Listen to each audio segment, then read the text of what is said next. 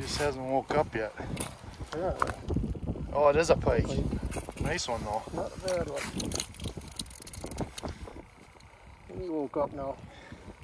Yeah, I, the way he was coming in, I didn't think he felt it yet. No, I don't think so.